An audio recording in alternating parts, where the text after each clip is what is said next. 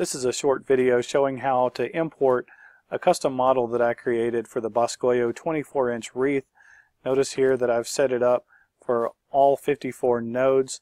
I've said that it's 25 wide by 26 tall. That's 25 wide by 26 tall. I'm going to go ahead and copy this, move it out of the way, come over here to Xlights, and now the question was, since I didn't have an X model file, how do I do it? I can go right here to import, drag out an area, and this is where if I had an X model I would go ahead and select it and click open, but since I don't I'm going to click cancel.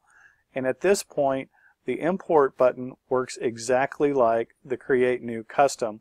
So we're still selected here. I'm going to go to model data, click to edit, and right here I'm going to set that 25 wide by 26 tall, which is what I had specified. I'm going to tab through just to create the grid, and then I'm going to go to the paste button, and now notice that we have the wreath model in the window just like I had in the Excel file. Click OK, and now we have that wreath.